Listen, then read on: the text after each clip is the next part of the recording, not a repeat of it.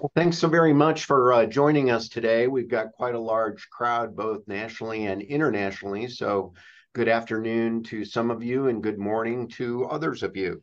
Uh, we've done this webinar every year for about two decades, and I think of all the years uh, that I have followed developments emanating from uh, Washington, D.C. and the EEOC, this perhaps is the most interesting year um, that we've ever seen.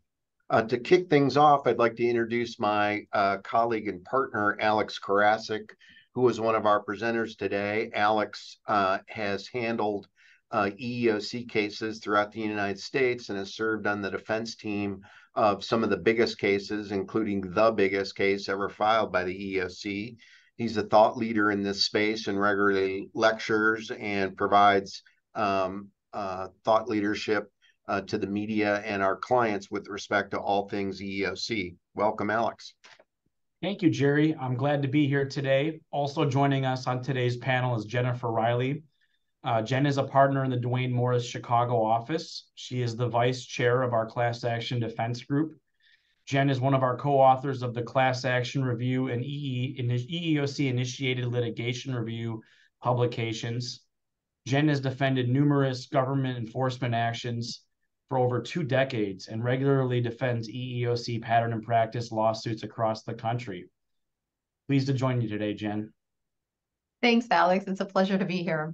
So we're going to start off our program today by hearing from Jerry, who chairs the Duane Morris Class Action Defense Group. Jerry has confronted and defended the largest and most complex EEOC cases ever filed against corporate America. This includes the largest systemic enforcement action ever brought in the history of the EEOC EEOC versus Sterling Jewelers, uh, which Jerry defended and settled for no money.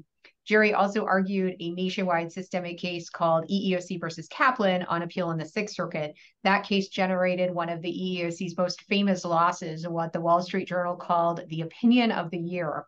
Jerry has probably handled more um, EEOC lawsuits than any other lawyer in the country. This past week, um, Law 360 named Jerry as an employment law MVP. That is an award that turns on input from clients, colleagues, litigation opponents, and distinguishes Jerry as one of the top five employment lawyers in the country. With this year's honor, Jerry has won that MVP award for eight of the last 10 years. No other lawyer has won that award even twice, or excuse me, no other lawyer has won that award more than twice. So it's an honor uh, to have Jerry on our panel today. Thanks so much, Jen. Uh, we thought about what uh, you need to know about in terms of all things EEOC when we constructed today's agenda. So we have seven topics that we think are going to arm you with everything you need to know to put the EEOC in context and to develop your own compliance strategies at your companies. And so these are some of the areas we're going to talk about, and we think it's very helpful to review uh, the analysis of the EEOC's lawsuit filings for those of you who did not know it, the EEOC's fiscal year is a little different than the calendar year. It goes from October 1 to September 30. So we're going to talk about what occurred um, in uh, up to the minute in terms of both the lawsuits filed, uh, the industries that are impacted, and some of the most notable among the EEOC law filings, lawsuit filings. We're going to then link those to the uh, APR, the annual performance report issued by the EEOC, which is somewhat of a press release that the EEOC uses when it goes to Capitol Hill uh, to ask for a budget increase. And then the all important strategic enforcement plan, which tells you as employers many of the things that the EOC is focusing on and looking at in terms of effectuating its strategic plan. In our last few minutes, we'll look ahead to our predictions for what's going to occur in the coming year. Uh, so with that, let's uh, start out with that introduction on the filings. Jen? Thanks, Jerry. So as Jerry mentioned, the EEOC's fiscal year is a little different. Um, it spans from October 1 through September 30th. So when we talk about the EEOC's fiscal year for 2023, we're talking about October 1, 2022 through September 30th, 2023. So historically, the EEOC has filed the majority of its cases during the second half of its fiscal year, and in particular during September, the final month of the fiscal year. So this past year was no exception. As you can see from the graph on our slide on the right-hand side, the EEOC filed a total of 29 new lawsuits during the first half of this this past fiscal year, uh, which at the midpoint, at the midway point of 2023, put the EEOC pretty much on par with its filings during the last um, few years. Um, per its tradition, though, the EEOC was a bit busier in terms of its filings during the second half of the fiscal year. In September alone, the EEOC filed 67 lawsuits. So that was up from what we saw in 2022 in September, where the EEOC only filed 39 lawsuits. In total, this past year, the EEOC filed 144 new lawsuits. So this represents the highest number of filings we have seen since fiscal year 2019, during which the EEOC had 157. So, despite this um, pretty significant bounce back in 2023, the figure is still lower when um, compared to what we saw pre 2019. In um, 2018, for instance, the EEOC the EEOC filed 217 lawsuits. Um, in 2017, the EEOC filed 2,201 lawsuits. So um, between 2000, excuse me, between 1997 and 2011, uh, we saw about 250 to 500 new lawsuits each year. So we're still below that high water mark, um, but potentially on another upward trajectory back to that, um, back to that um, more historical um, number of filings. So this slide shows us the map. So the EEOC maintains 15 district offices and 53 field offices. And this graphic shows us the breakdown of the district offices by district.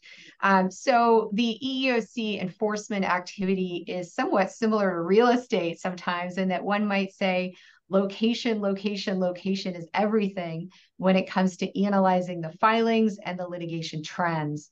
So while the EEOC is a single agency, um, when we look at the district offices, sometimes we speak of the EEOC as, as a they because the district offices vary uh, across the, the various um, portions of the map in terms of the case types, um, the systemic filings, the priority focus areas, and, and in terms of the numbers um, that we tend to see on an annual basis.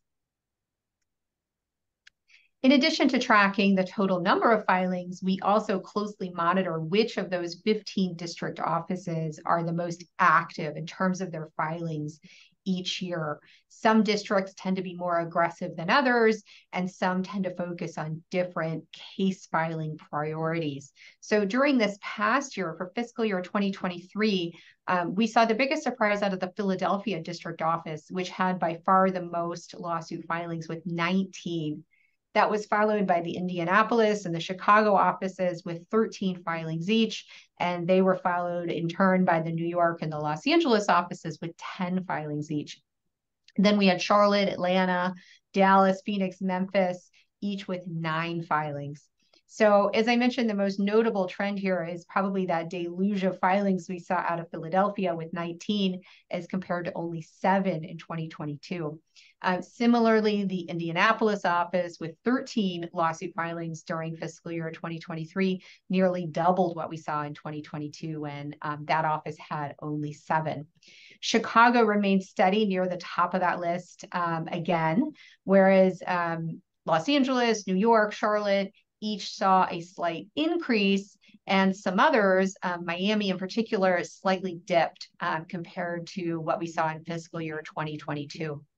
So the balance across these various district offices um, confirms that 2023 really uh, reflects a more aggressive EEOC than what we became accustomed to seeing in that 2019 to 2022 period. Yeah, and it's always struck me that when an employer negotiates uh, either uh, to get a case dismissed or to resolve it, uh, the employer is negotiating with the regional trial attorney in each of these district offices, and they all have different interests. They all approach problems differently. And so you're not dealing, as you said, with an it, a single agency. you're dealing with a, a, a they in terms of different things. And the startling statistic that jumps out to me here is Philadelphia being the leader here far and away, obviously under Third Circuit law, and San Francisco having the least number of cases, and yet probably sitting in the Ninth Circuit, it has very mature, very well developed law uh, under uh, Title VII and the ADA. Do you have any inside baseball uh, tips as to uh, why uh, Philadelphia is far ahead and San Francisco is lagging so far behind? That's great insight, Jerry. Um, absolutely. So as you mentioned, um, some of those offices have um, cases already in the pipeline. So what we're seeing here on the slides are really the new case filings um, during the past fiscal year. Um, and it doesn't necessarily reflect how busy the office is in terms of what they already have in the pipeline um, coming into 2023. Makes good sense.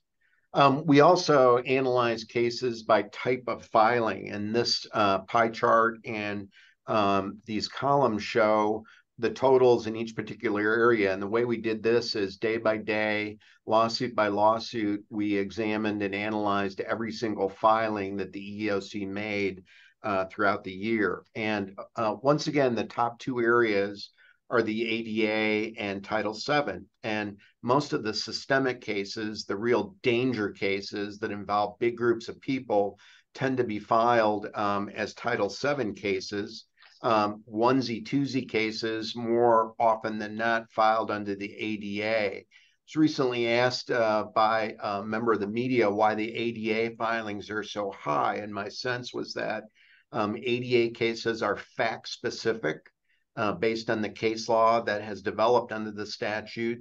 Those sorts of cases are more impervious to summary judgment.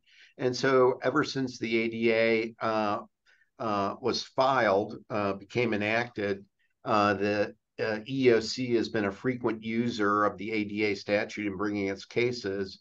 And um, uh, over the last 12 months, that was certainly true again. Um, basically, Title VII, race, gender, national origin make up 68%, which is one, which is what one might expect and it's held kind of steady over the last few years in the 60s, whereas ADA cases have basically been in the 30s.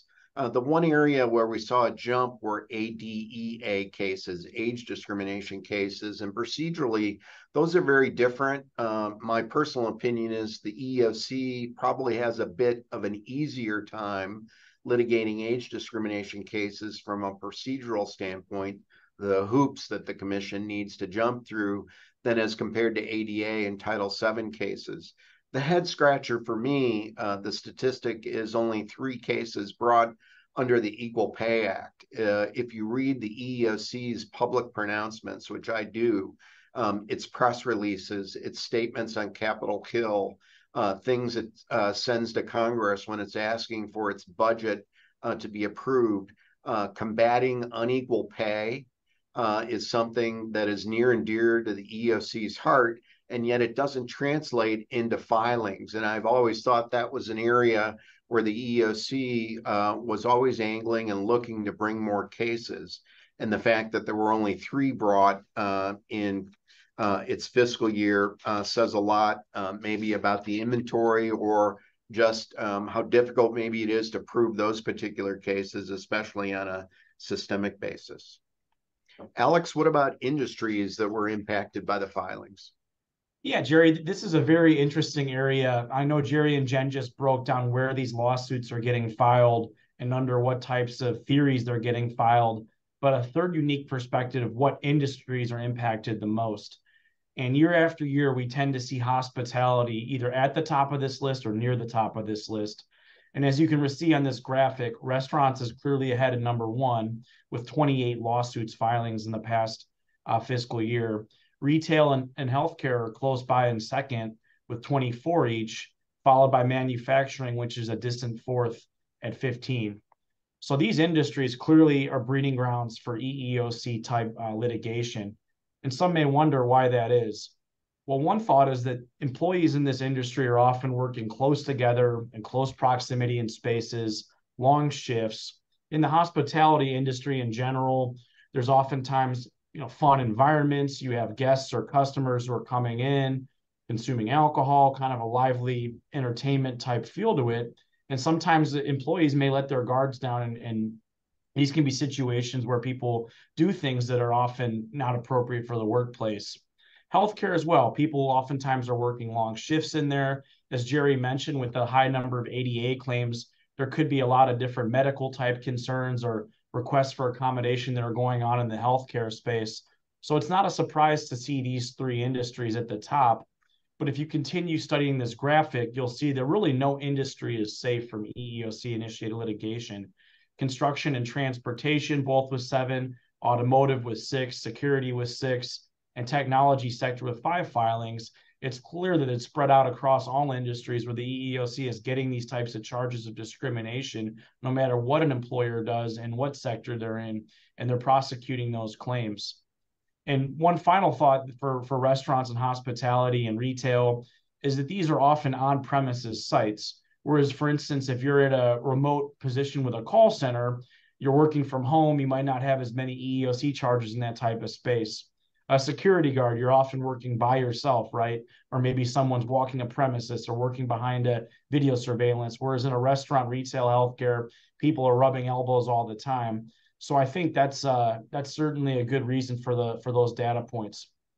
Alex, I think that there's one other data point that I've always found interesting. If you uh, disassemble and look at the lawsuits brought against uh, the food service or restaurant industry, and that would be with respect to the number of claims the EOC brings on behalf of teenagers, part time workers, summer workers, workers that the EOC deems to be uh, exceedingly vulnerable uh, to alleged uh, harassment, especially sexual harassment, where an adult uh, is involved in that particular interaction and the teenager is the victim.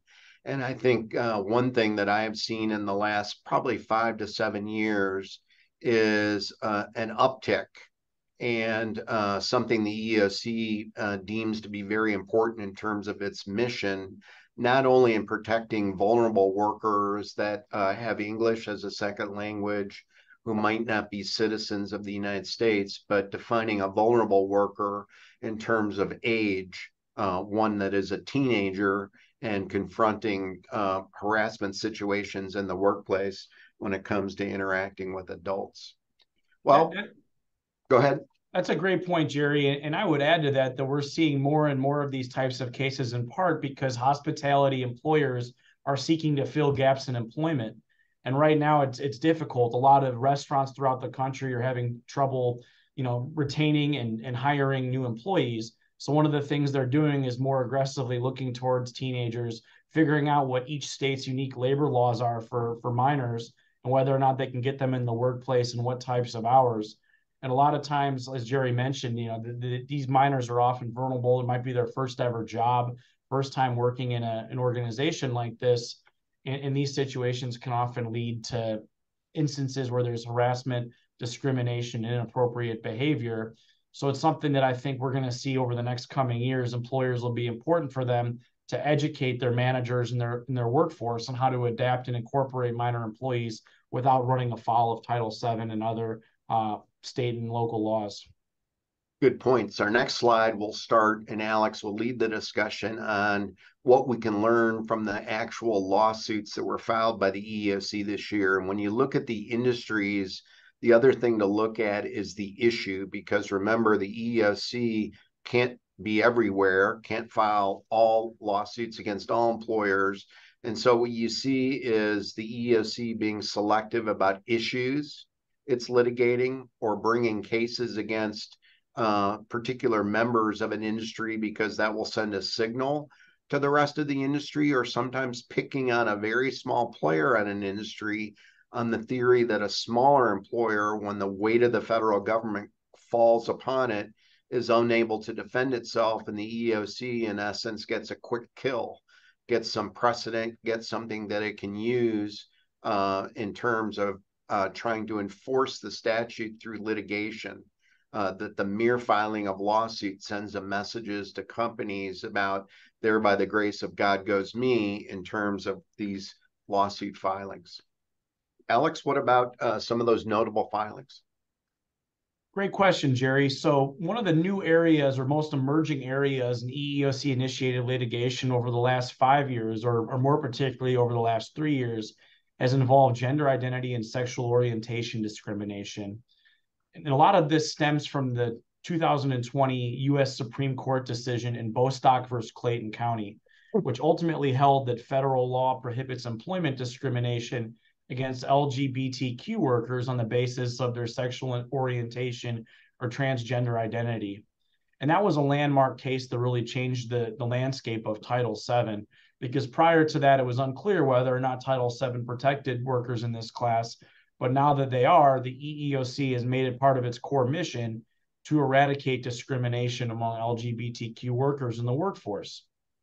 So when we're seeing that come to fruition now, following that decision, we'd imagine that there's been a lot more charges involving sexual orientation or transgender identity uh, in the charge phase. And now some of those charges that were filed in 2020, 2021, 2022 are percolating through the EEOC charge phase into litigation. And we think this is an area that's going to be significantly litigated uh, over the next five years and beyond. And one example of such a case is EEOC versus TC Wheeler. And this is a case that was filed in the Western District of New York in March of 2023. There, the EEOC brought a lawsuit on behalf of charging party who alleged that employees harassed a transgender male employee because of his gender identity, including telling the employee comments about he wasn't a real man and asking invasive questions about his transition. And these types of comments the EEOC found problematic and they also alleged that other employees made anti-transgender comments and continually referred to the employee by using female pronouns. And the issue of gender identity and pronouns, again, has become something that's increasingly more uh, prevalent in the workplace. And for those employers that haven't gotten around to training employees on what are the proper way to address certain individuals in their workforce, this case is an example of how such behavior can ultimately amount to and lead to EEOC initiated litigation. So among other 2023 filings, and when we do next year's webinar, we anticipate there will be even more cases involving sexual orientation and gender uh, identity in, in terms of looking to protect the workers in this category. How about color blindness? This is a unique one and, and one that's not you're going to see every day in EEOC initiated litigation. But here, the EEOC filed a lawsuit against Union Pacific Railroad Company in federal court in Minnesota on September 19th, I'm sorry, September 29th, 2023, which is essentially the 11th hour before the, the end of the EEOC's fiscal year. There, the EEOC alleged violations of the ADA when the employer used an unlawful qualification standard to screen out workers if they failed color vision tests without attempting to accommodate and this might be relevant, for instance, when you're operating a railroad or, or whatnot, seeing being able to see and read the signs. But nonetheless, the the EEOC uh, looked at the standard that was used there and looked at some of the color uh, blindness testing that was done there to determine um, whether or not these vision tests unlawfully screened out um, a class of potential applicants or employees. So that's another one that's unique in terms of the the ADA type cases that Jerry talked about, which we've seen increasingly get filed more and more year after year. And then finally, pregnancy discrimination litigation has long been an area of focus for the commission. As uh, employers, oftentimes these are types of cases where employers are accused of screening out pregnant workers or improperly um, accommodating them in terms of certain side effects due to the pregnancy. And here, the EEOC accused a uh, assisted living facility in Florida about uh, firing a ner- certified nursing assistant after learning she was pregnant and rejecting her argument and rejecting arguments that doing so was illegal. Robert Weisberg, a regional attorney for the EEOC's Miami district office, said in a statement, while this case was brought under Title VII, which has been protecting pregnant workers for decades, it highlights the need for broader protections now in place under the new Pregnant Workers Fairness Act. And we'll discuss that act a little bit more in today's uh, presentation. But for purposes of this lawsuit filing, it's extremely important for employers to know that the EEOC closely scrutinizes uh, requests for accommodations um, for pregnant employees, and even on the outset, takes an even stricter look at employers who don't give opportunities to employees once they find out that they are pregnant. Alex, I think it's interesting this slide because it shows uh, to me the mosaic of considerations that the EEOC uses when it selects cases to uh, bring. The first case with TC Wheeler is a stretch the envelope. Let's uh, litigate a case to create either new law or to uh, effectuate the public policy of Title VII in the broadest way possible. Um, the color blindness case with the Union Pacific is suing an industry leader and using that uh, in terms of an ADA systemic case to regulate uh, the industry. And then with pregnancy, uh, it's the EEOC focusing on an important issue. So, in terms of this enumeration of notable filings, you see a little bit of all the types of things that go into the EEOC's uh, thinking when it selects its cases, what employers to sue and what issues to, to sue them on. Let's look at um, some additional disability related filings from fiscal year 2023. So, given the prevalence of um, attention that COVID 19 occupied, and in particular the vaccine related debate, um, that emerged um, in the wake of the COVID pandemic, um, we anticipated that there would be a surge of exemption related cases coming through the EEOC's charge intake system. Um, the results don't disappoint. Um, that is just one of the types of um, litigation we're seeing under the umbrella of disability related claims. Uh, in terms of the ones on the slide, the first one we have listed there is EEOC versus United Healthcare Services. Um, that's an interesting case. In that one, the EEOC alleges that an employer violated federal law when it refused to grant a full time telecommuter a religious exemption from the company's COVID 19 vaccine requirement. Um, the EEOC alleges there that the charging party received multiple notifications that she needed to obtain the vaccine, even though the company's vaccine policy stated that it did not apply to full time telecommuters. Um, and the allegation there goes on to allege that the employee eventually received an ultimatum either get a vaccine or um, be fired within 30 days. The next one on the slide deals with um, deaf or hard of hearing workers in EEOC versus Alliance Ground International, the EEOC alleges that the employer there, a cargo, an airline cargo services provider, rejected a job applicant because of a hearing impairment. Um, and the EEOC alleges that the defendant actually has a has a policy or practice of refusing to hire individuals who are deaf or hard of hearing rather than providing them with reasonable accommodations. Um, the third one there, EEOC versus Zoe Center for Pediatric and Adolescent Health. Um, that one, in that one, the EEOC alleges that the employer, which was a, which is a pediatric clinic, fired an employee after she asked to work remotely near her emotional support animal to better manage her mental health disorders. The EEOC released a press release there that said the termination was contemporaneous with the employer's denial of a reasonable accommodation request, uh, which signaled a clear violation of the ADA. Know, Jen and Alex, you both spend a lot of time helping employers with ADA related issues.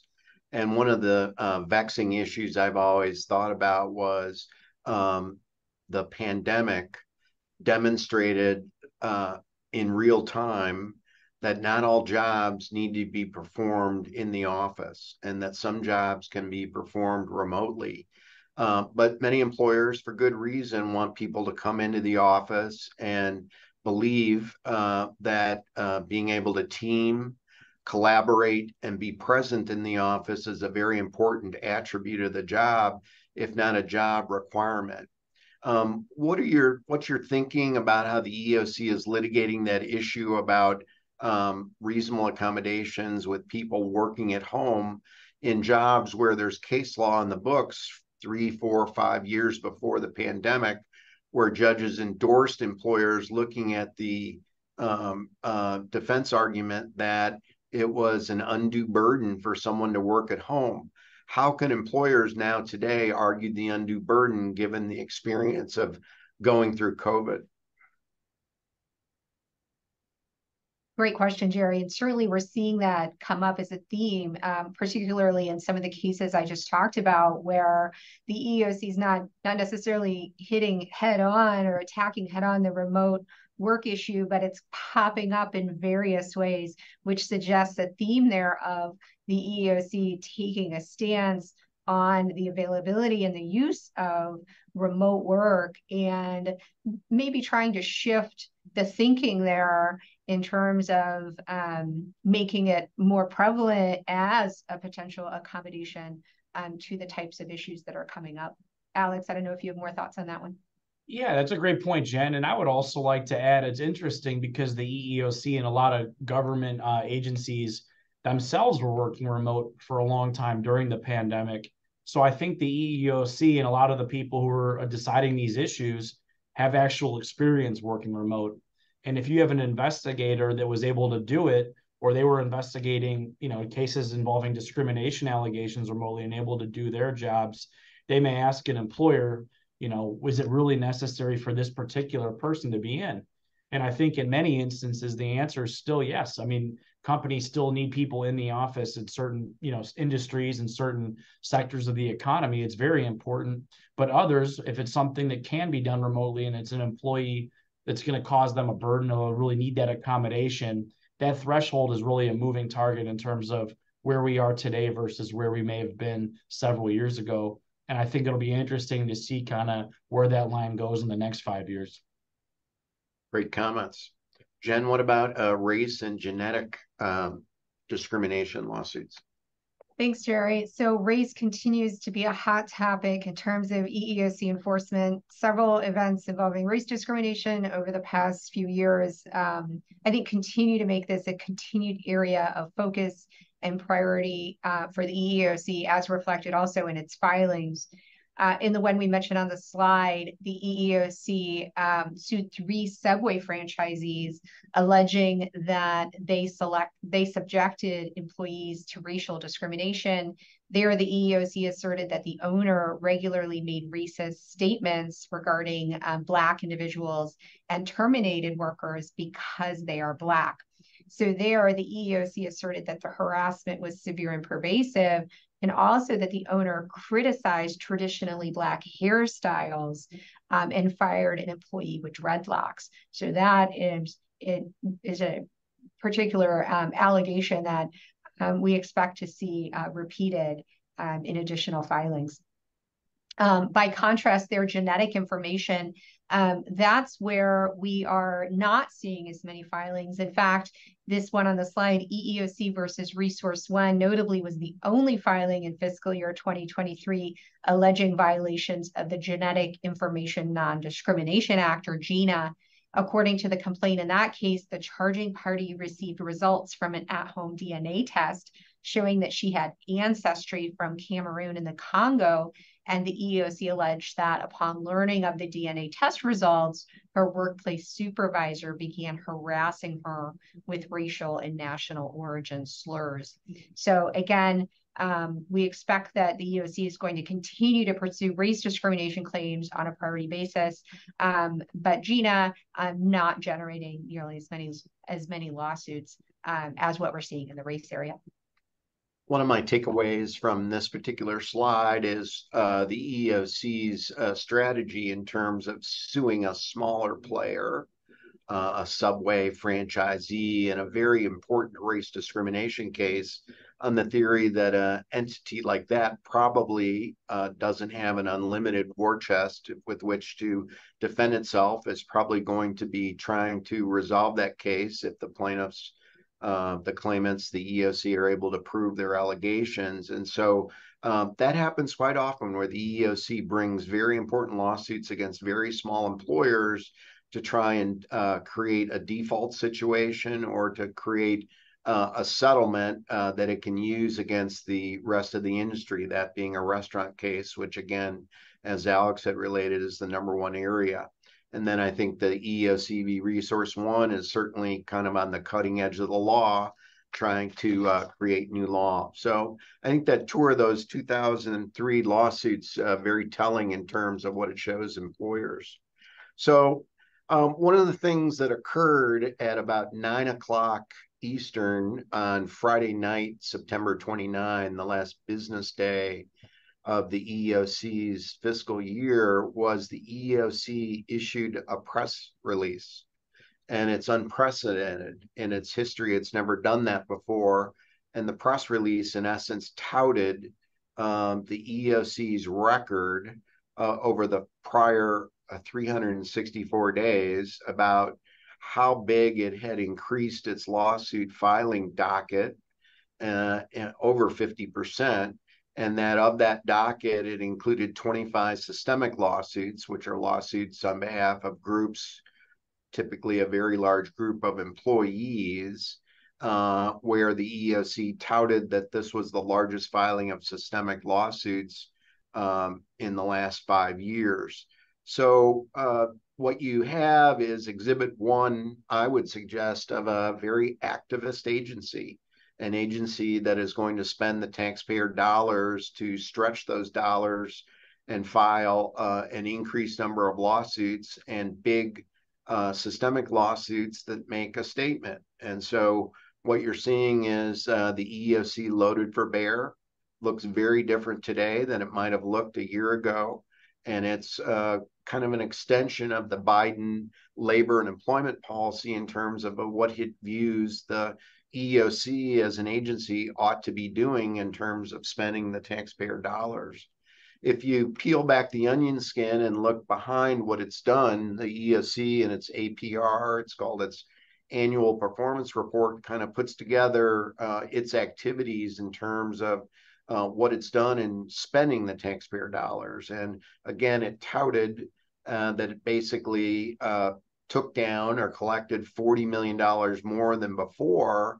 Uh, 513.7 million compared to 485 million uh, just two years ago on behalf of 38,000 uh, victims of discrimination. And this would include charges, uh, charges that were mediated, uh, lawsuits, uh, and that it had nearly a, a jump ball, 50% uh, track record in terms of successfully conciliating cases.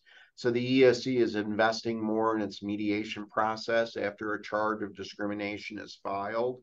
Uh, here, there were 73,000 filed uh, last year, a big uptick in the number of filings. During the pandemic, it was depressed. One of the reasons we thought is less people going into work, less interaction with uh, other workers and employers. Um, now you're seeing uh, the needle uh, trending upward, uh, and you're seeing many, many, many more discrimination charges than before uh, and um, you're seeing more lawsuits. So, kind of the the watchwords and the takeaways from all of this is the EEOC is busy. The EEOC is adding investigators. The EEOC is filing more lawsuits. The EEOC is very strategic in the manner in which it files a lawsuit. There's a method behind its case selection where in the United States it files them, which particular employers it targets, which particular industries are under the radar, and what particular issues uh, are being litigated. And I think a lot of that uh, stems from uh, the strategic enforcement plan. And uh, Jen and Alex and I think the SEP, the strategic enforcement plan, is well worth a read by any corporate counsel or senior vice president of human resources because of what it tells you in terms of uh, the areas the EEOC is looking at. So we'd like to turn to that and quickly go through the SEP in terms of the takeaways for employers. Jen? Thanks, Jerry. So as Jerry mentioned last month, the EEOC published its strategic enforcement plan for fiscal years 2024 through 2028.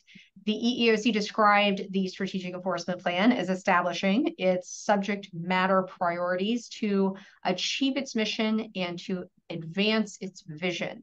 Um, so these are important um, categories to be aware of in terms of e the EEOC six priority areas uh, for enforcement during the upcoming years.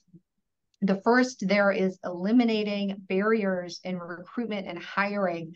This is actually a very broad um, focus it um, the EOC described it as um, a focus on discriminatory recruitment and hiring practices and, and, policies, and it includes myriad things from the use of technology, including artificial intelligence and machine learning, to target job advertisements, recruit applicants, even to make or assist in hiring decisions. Uh, it also includes the use of job advertisements that the EEOC views as excluding or discouraging certain protected groups from applying. It includes channeling or steering individuals into specific jobs or job duties, again, based on um, alleged protected characteristics. Um, it also includes policies or practices that limit on the job training or apprenticeship programs or internships based on protected characteristics. And these are just a few of the examples. The number two enforcement priority there, protecting vulnerable workers and persons from underserved communities from discrimination. The EEOC says there that it will focus on harassment, retaliation, job segregation, labor trafficking, discriminatory pay, um, among other things that particularly in, impact of vulnerable workers which it describes as anything from migrant workers, disabled individuals, older workers, including temporary workers, individuals employed in low wage jobs, including teenage workers, as Jerry mentioned earlier, as well as individuals with arrest or conviction records, um, individuals with limited literacy or English proficiency, as well as LGBTQI plus individuals, among others. Um, enforcement priority number three, addressing selected emerging and developing issues. There, the EEOC notes that it will continue to prioritize issues that may be emerging or developing, including issues influenced by local, national, or global events. So, for instance, discrimination against religious minorities, racial or ethnic groups, um, may fall into this category, as well as discrimination associated with the long term effects of the COVID 19 pandemic. Priority number four, advancing equal pay for all workers. The EEOC notes there that it will continue to focus on combating pay discrimination on the basis of sex as well as other protected categories. It notes there, interestingly, that because many workers do not know how their pay compares to their coworkers and therefore may be less likely to discover or report pay discrimination, the commission will continue to use its directed investigation um, as well as commissioner charge tools um, as appropriate to facilitate uh, enforcement. Again, as Jerry mentioned earlier, while this is about the 10th year in a row, we've seen this topic as a priority in the strategic enforcement plan. We have yet to see a lot of litigation um, in this area. Uh, number five, preserving access to the legal system. There, the EEOC notes that it will focus on policies and practices that discourage individuals from exercising rights or impeding the EEOC's investigative or enforcement efforts. This priority, priority includes um, policy or practices that deter filing charges. Among other things, it includes a focus on what the EEOC describes as an as overly broad waivers releases, non disclosure agreements, non disparagement agreements, and also unlawful, unenforceable, or otherwise improper mandatory arbitration agreements. Then, number six, preventing and remedying, remedying um, systemic harassment. Um, the EEOC notes that harassment, both in person and online, remains an issue of serious concern. Um, it noted in its strategic enforcement plan that over 34% of the charges of employment discrimination the EEOC received between 2018 and 2022 included an allegation of harassment. So expect to see the EEOC continuing to focus on strong enforcement um, and promotion of anti-harassment programs.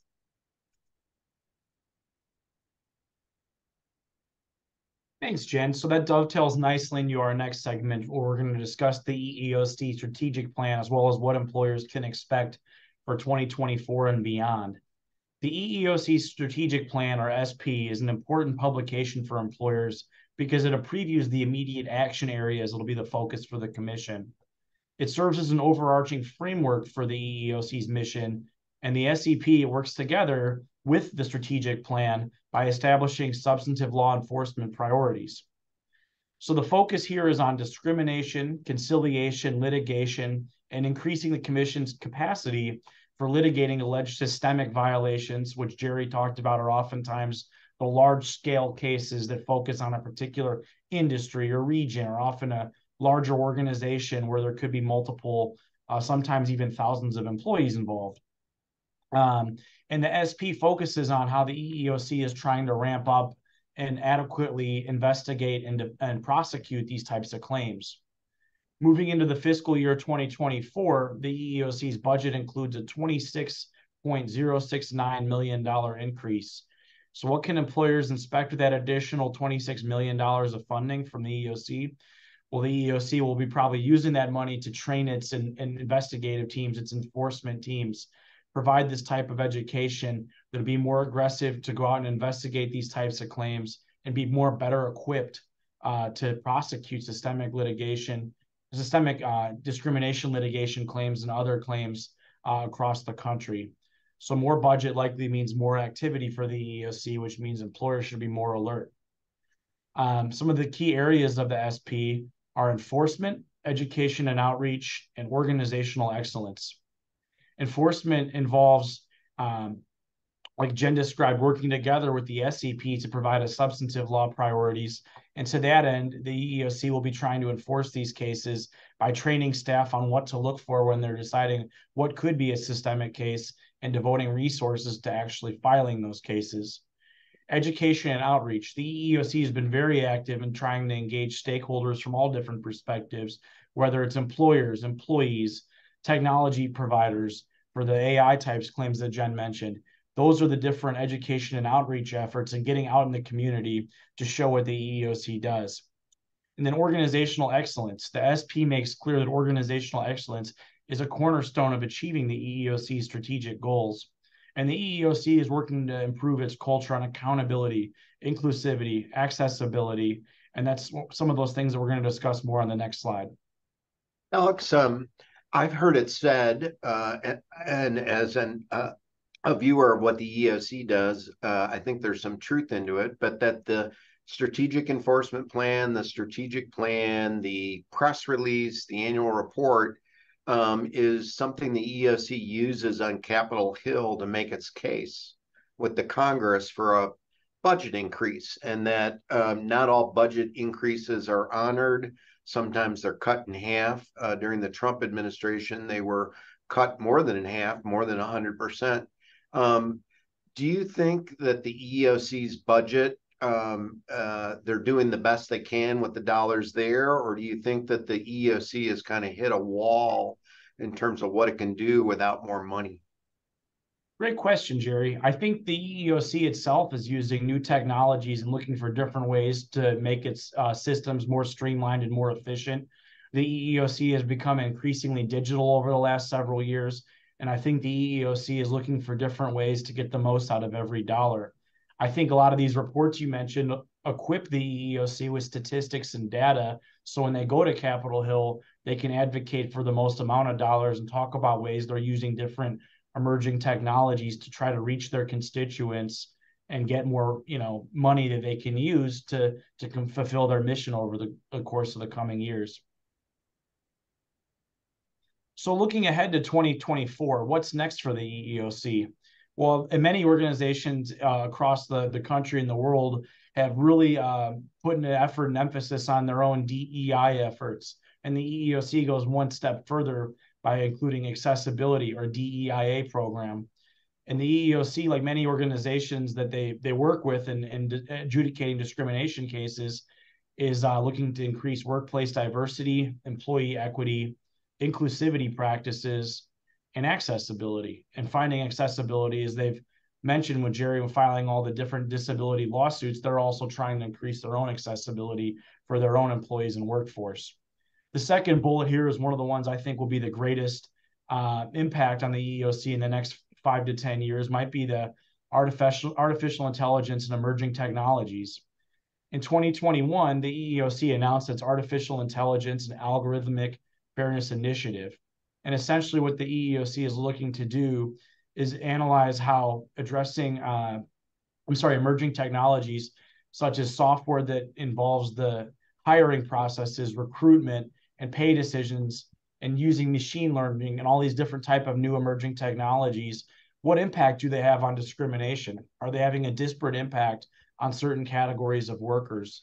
The EEOC has been very, very uh, vocal in this space over the last two years and the EEOC even in May of 2023 published a document that provides a Q&A for how employers can look at these AI type technologies and determine whether or not they're potentially having a disparate impact on hiring decisions. Commissioner Keith Sonderling has spoken all over the world about AI issues, and the EEOC itself has been publishing a lot of guidance documents over the last two years. And this is an area that's absolutely not going anywhere. It's going to continue to be analyzed dissected. And even this past year, the EEOC announced its first settlement of an AI case. And this one involving a tutoring group that automatically rejected an applicant after her birthday uh, that she typed into an application showed that she was over the age of uh, 55. And that that case right there, the, applicant actually typed in a new birthday, changed nothing else on her application, and got hired by using her fake birthday when the only requirement was to have a bachelor's degree. So I think the EEOC settlement of that case for $365,000 on behalf of 200 applicants reflects the EEOC now has a roadmap for how to prosecute AI related discrimination cases involving software bias. And that's definitely going to be an emerging issue going forward. And then finally, a very interesting development the EEOC uh, joined forces with the DOL and the NLRB, two other government agencies, on the anti retaliation initiative. And it's not often that you'll see these different branches of government that prosecute different types of claims lock arms and join together in a common mission. But here they did exactly that to look at retaliation in the workplace. Uh, and that'll be something interesting to monitor to see whether these different branches of government enforcement agencies continue to pick up the phone, call each other, work together to try to uh, eradicate a common issue such as retaliation.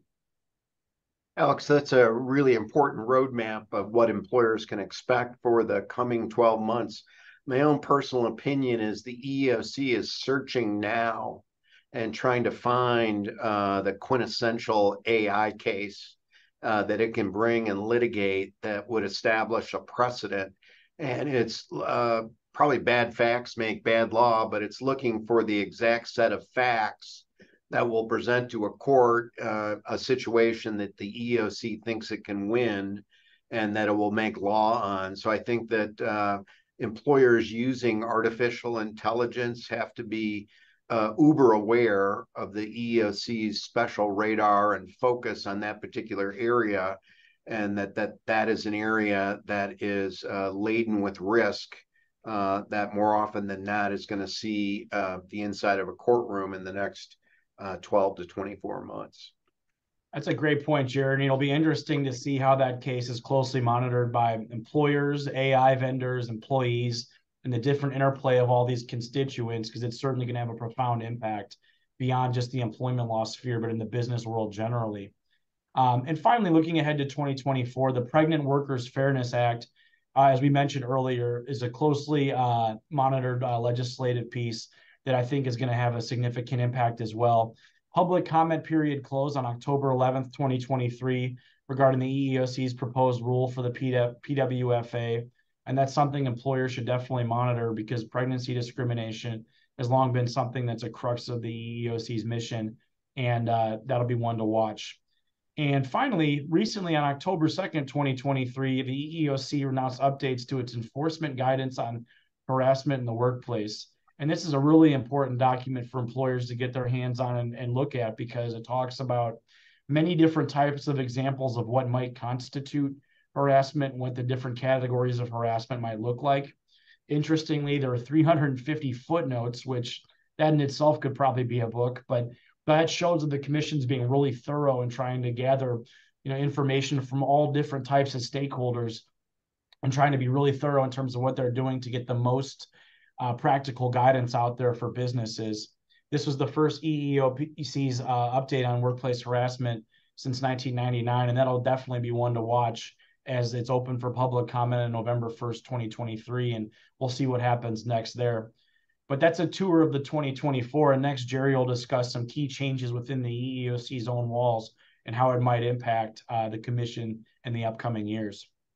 Before we turn to that, Alex, I think an important uh, distinction for our uh, guest today is to understand the use of the enforcement guidance. I've uh, had the privilege to represent employers in many EEOC related lawsuits where the EEOC tries to use its own enforcement guidance as uh, a piece of evidence, so to speak, to sway a federal judge to interpret or uh, the law in a certain way. So make no bones about it. The enforcement guidance is an advocacy piece where the EEOC says this is what we think the law should be, and this is how we're going to argue the issue in court and not all federal judges buy into that on the theory that sometimes the EOC, uh, as an advocate, is interpreting what the law uh, requires um,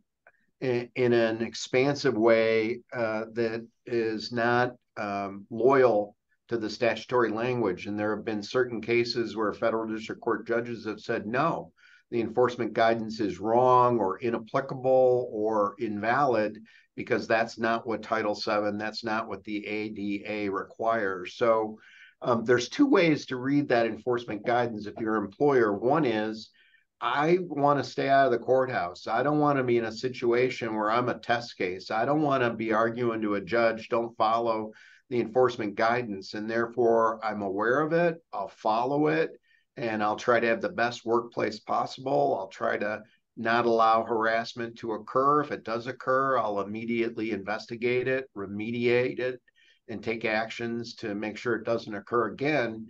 And therefore, the enforcement guidance is valuable in terms of knowing what the EOC might sue me on. Uh, the other way to view it is it's the EOC's version of what they wish the law would be, and it doesn't necessarily mean that is exactly what the law is if an employer is forced to litigate it. So uh, important to know that it is uh, uh, truly an advocacy piece. So we wanted to talk a little bit about the changes in the leadership, and they're important. Uh, in the last two months, the EOC finally has its full complement of commissioners. There are, by law and regulation, five commissioners. Kalpana Kotagal became the fifth commissioner. Uh, she uh, has a background from the Cohen Milstein firm, uh, a very able lawyer. I've litigated uh, multiple cases uh, against her. She's very good at what she does. And she is viewed as probably someone who's going to become a leader and a future chairperson of the EEOC. Once she joined and she was confirmed, the Democrats uh, now enjoy a three to two majority, which is traditionally what occurs when uh, the White House is uh, has a Democratic president. That there'll be three to two majority among commissioners. And what you saw in the last two months was kind of the uh, impediments to issuing the enforcement guidance. All the regulations, uh, the authorization, the lawsuits, all were released and came about. So one would expect the EOC is now open for business, so to speak, and you're going to see a lot of initiatives and an activist organization in operation. Um, Karla Gilbride is the acting EOC general counsel. She's almost functions like a sixth commissioner, very important in terms of being the head lawyer at the EOC. She likewise, like Ms. Kotagal, comes from a civil rights and plaintiffs employment background, very able lawyer, very able advocate. So that gives you a tour of the EEOC world. Uh, and we've reached our bewitching hour after 60 minutes. We had mentioned that we put together an annual EEOC litigation review. Uh, if you can get it off our website or just even scan it right here on the QR code. And if you have not already, uh, subscribe to our uh, Duane Morris class action uh, um, uh, uh, website. We uh, invite you to uh, subscribe to our defense blog, listen to our Friday podcasts, and learn all things employment related um, and EEOC related litigation. So thank you very much for taking time out of your busy schedules to join us. We hope we've provided you with food for thought and things to think about in terms of getting ahead of these issues and all things EEOC. So have a great afternoon.